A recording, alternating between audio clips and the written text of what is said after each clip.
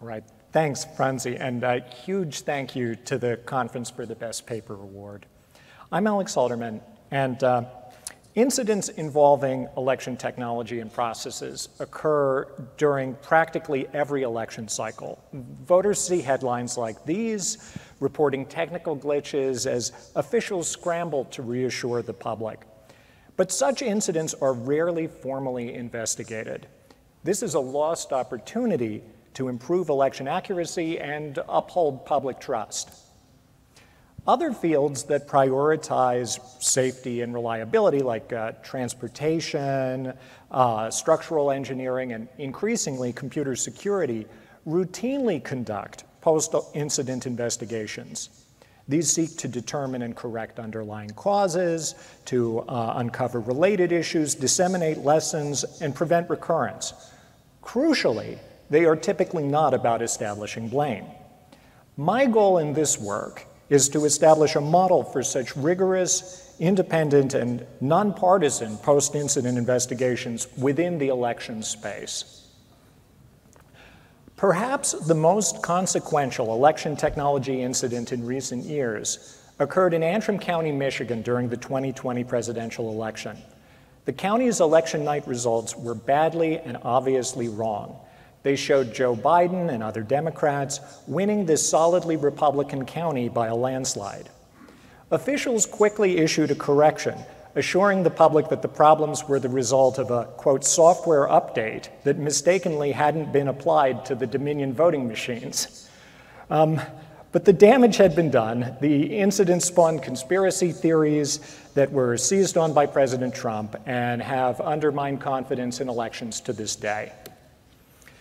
In the immediate aftermath, a legal team linked to the Trump campaign sued in state court and was granted access to perform a forensic investigation of Antrim's voting system. Within only a week, uh, a group called Allied Security Operations Group had produced a report claiming to have discovered evidence that the Dominion machines were, quote, intentionally and purposefully designed to facilitate fraud. The attorney behind that lawsuit, Matthew DePerno, is now the presumptive Republican nominee for Michigan Attorney General. And as of this week, he is reportedly under investigation himself for breaching the security of voting equipment. Um, but when ASOG's forensic report first became public, DePerno called on President Trump to um, act. And it was unclear at the time what that meant.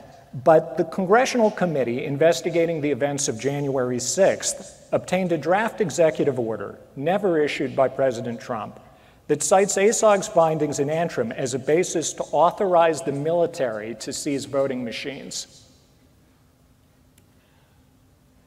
In response to the ASOG report, Michigan's Secretary of State and Attorney General asked me to perform an independent forensic investigation of the Antrim incident.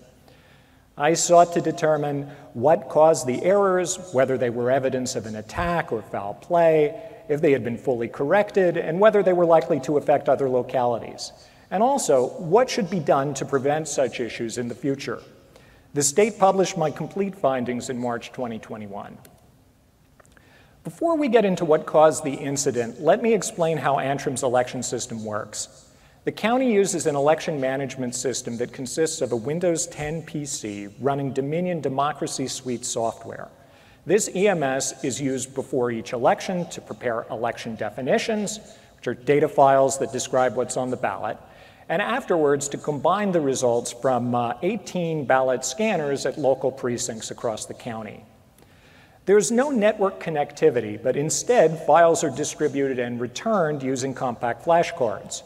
Each scanner outputs both uh, electronic records of every ballot and also a paper poll tape summarizing the number of votes for each candidate. For my investigation, I was provided copies of the EMS hard drive, the scanner memory cards, and the poll tapes. I also reverse engineered the undocumented Dominion file formats and software and built new tools to analyze them. All right, so what did we find? I used logs from the scanners and EMS first to reconstruct events before the election. In September, county staff had approved the ballot designs for printing, and they loaded the election definitions onto the EMS and the scanners as usual. However, in early October, errors were discovered in three of the ballot designs. For instance, in one precinct, the ballot showed a school board contest for the wrong district. Workers revised the election definitions and ordered new ballots printed, and they loaded the revised election definitions into the EMS, but only updated two of the 18 scanners. This would prove to be a consequential mistake. The first sign of trouble, though, didn't happen until election night when workers loaded the results from the scanner memory cards into the EMS. Three cards failed to load despite multiple attempts. Rather than investigating, election staff manually entered these results from the poll tapes, and this process took until 4 o'clock in the morning. Working so late at night, the staffers, kind of understandably, neglected to closely review the county-wide results before publishing them. Later that morning, however, the county was told by outsiders that the results were obviously wrong. Staff took them down and manually entered the remaining results from the poll tapes to correct them. So, what caused the major errors? I was able to determine the cause by reviewing the election definitions and the result files. What happened is that internally, the Dominion system represents each possible choice across every ballot style with a sequential ID number.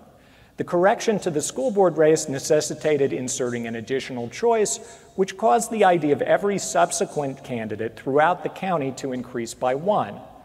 Scanners that weren't updated used the old IDs. When the EMS interpreted their results using the new IDs, it assigned the votes to the wrong candidates. As you can see here on the right, in the presidential race, the effect was essentially that for affected precincts, Biden received the votes cast for Trump, and Trump received the votes cast for the Libertarian candidate, and so on down the ballot. So I confirmed that the major errors had been corrected uh, using several different tests, each of which produced the expected results. First, I loaded each card into the EMS using the matching election definition. I also counted the votes from the memory cards directly myself using software I wrote without reliance on the EMS. Finally, I personally and by hand added up the individual results from the scanner poll tapes across the county and got exactly the same as the final results. In addition, the State Bureau of Elections manually recounted all of the votes from the presidential race using the original paper ballots.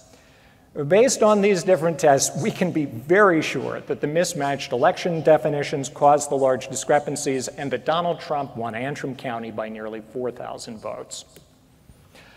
Unfortunately, the mismatched election definition was not the only problem with Antrim's results. The county ultimately reported results five times, sometimes changing candidates' totals by thousands of votes. After the initial erroneous results, the county manually entered totals from the poll tapes, but staff failed to remove all of the old data. Uh, the officially certified results corrected this, but the manual data entry still contained typos that affected nearly 2.6% of votes statewide. And this is despite the fact that Michigan law requires county canvassers to compare the official results to the poll tapes before certifying them. Some of the typos were corrected in a fourth set of results, but others remained and were only corrected in the final set of results published on November 21st. Despite the unusual attention that Antrim received, I've found that even the final certified results still contain errors that affect certain down ballot races. One problem was simply that many mail in voters first received the misprinted ballots and were only later sent corrected ones. Some returned each version, but there was no process to separate them, and the scanners were not programmed to be able to tell them apart. Targets for certain contests moved between the designs, so the scanners miscounted these votes on either the initial or the revised ballots, depending on which election definition was in use. Fortunately, I was able to bound the number of votes that were affected, and no outcome was changed. However, I also uncovered a different error that quite possibly did change the outcome of one local contest in the final results. Central Lake Township scanned its ballots twice because the scanner was initially programmed with the wrong school board race. In the first scan, a local marijuana initiative failed in a tie, but in the second scan, it passed by one vote. Why the difference? Well, I recovered partial records that suggest that, the, that during the second scan, whether correctly or due to human error, one particular ballot was omitted that would have changed the results. Despite the narrow margin, nobody challenged the outcome within the statutory time frame, so the final results will stand forever. While my analysis was not a security review, I did note or confirm several security problems with the EMS along the way. All users shared a single Windows login with administrator privileges, allowing them to alter logs or bypass access controls. Um, SQL Management Studio was installed, allowing users to directly alter the election databases. The Windows security updates were more than two years out of date, and the security log from the election day had been discarded because the log had reached a fixed maximum size. The EMS also did not use full disk encryption. These issues are all real security problems and should be mitigated promptly, but it's important to note that there is no evidence that they were ever exploited in Antrim. So ultimately, my investigation was able to account for all known anomalies in Antrim's results, including several that I discovered myself. All arose from human error during unusual circumstances involving ballot design changes at the last minute, which are unlikely to have occurred widely elsewhere. Although the major errors have been fully corrected, I determined that certain down ballot contests still contain smaller errors. Several opportunities to discover um, the problems were missed due to further human errors, including ones in processes that are important safeguards for security and accuracy, such as logic and accuracy testing and pre-certification canvassing. The election software also certainly could have done more to prevent the human errors from affecting results, but there's no basis to conclude it was deliberately designed to facilitate fraud. Based on this understanding of the events in Antrim County, I make a number of recommendations. The common theme is to bring a more scientific mindset to election administration, such as by reviewing and strengthening procedural fail-safes and improving usability for poll workers, both of which are problems that badly need more attention from our research community. I also suggest steps to facilitate post-election forensics by creating and better preserving digital records. Finally, I recommend that future election incidents, when they occur, as they inevitably will, um, should be followed by uh, officials conducting rigorous post-election investigations to ensure the problems are understood and that lessons are shared to prevent recurrence. I hope this work can serve as a model for such efforts. Thank you.